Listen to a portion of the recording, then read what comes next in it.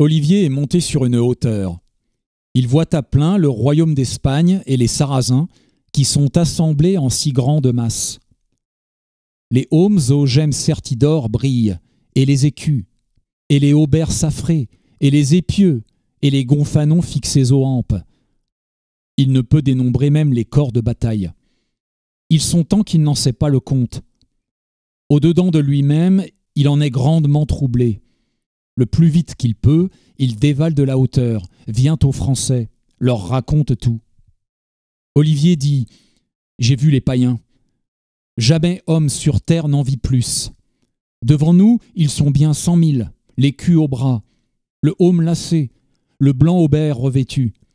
Et leurs épieux bruns luisent, hampes dressées. Vous aurez une bataille, telle qu'il n'en fut jamais. Seigneur français, que Dieu vous donne sa force.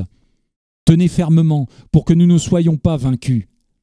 Les Français disent Honni soit qui s'enfuit. Jusqu'à la mort, pas un ne voudra vous faillir. Olivier dit Les païens sont très forts, et nos Français, ce me semble, sont bien peu. Roland, mon compagnon, sonnez donc votre corps.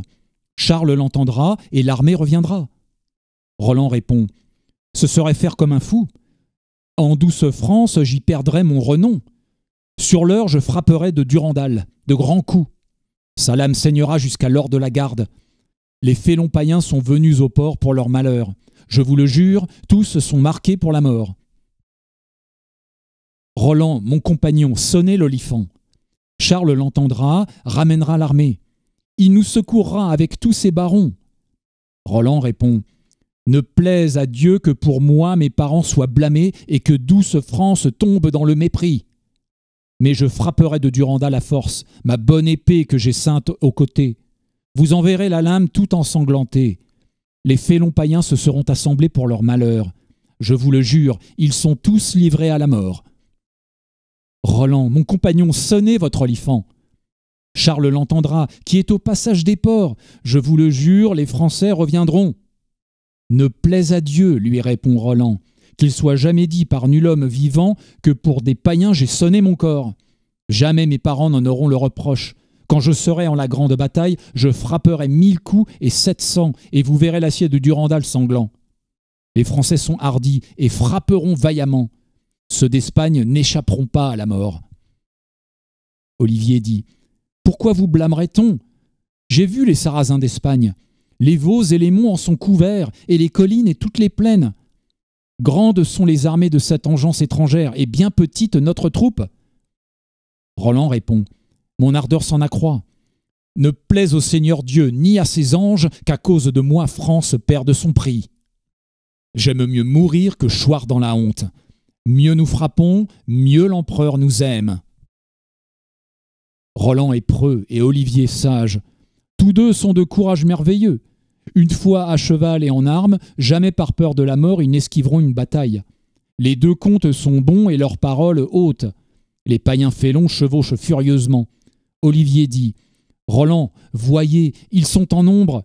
Ceux-ci sont près de nous, mais Charles est trop loin. Votre olifant, vous n'avez pas daigné le sonner.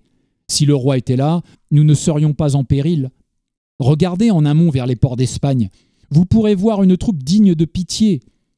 Qui aura fait aujourd'hui l'arrière-garde ne la fera plus jamais. Roland répond Ne parlez pas si follement. Honni le cœur qui dans la poitrine s'accroidit. Nous tiendrons fermement sur place. C'est nous qui mènerons joutes et mêlées. Quand Roland voit qu'il y aura bataille, il se fait plus fier que lion ou léopard. Il appelle les Français et Olivier. Sire compagnon, ami, ne parlez plus ainsi. L'empereur qui nous laissa des Français a trié ses vingt mille. Il savait que pas un n'est un coire.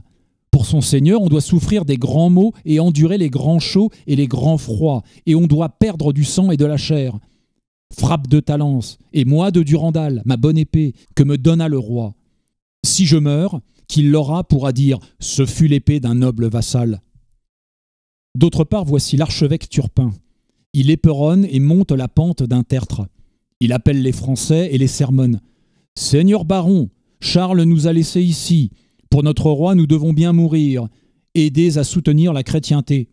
Vous aurez une bataille, vous en êtes bien sûr, car de vos yeux vous voyez les Sarrasins. Battez votre coulpe, demandez à Dieu sa merci. Je vous absoudrai pour sauver vos âmes. Si vous mourrez, vous serez de saints martyrs. Vous aurez des sièges au plus haut paradis. Les Français descendent de cheval, se prosternent contre terre, et l'archevêque, au nom de Dieu, les a bénis. Pour pénitence, il leur ordonne de frapper. Les Français se redressent et se mettent sur pied. Ils sont bien absous, quittent de leurs péchés, et l'archevêque, au nom de Dieu, les a bénis. Puis ils sont remontés sur leurs destriers bien courants. Ils sont armés comme il convient à des chevaliers, et tous bien appareillés pour la bataille. Le comte Roland appelle Olivier. Sire compagnon, vous disiez bien, Ganelon nous a tous trahis. Il en a pris pour son salaire de l'or, des richesses, des deniers. Puisse l'empereur nous venger. Le roi Marsile nous a achetés par marché, mais la marchandise, il ne l'aura que par l'épée.